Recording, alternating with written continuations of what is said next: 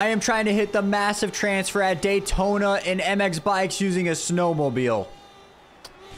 Yeah, this is going to be tough. I changed up the gearing. I changed up the rod length. We should have good speed. Um, it just, I don't know. It just all depends. Holy crap.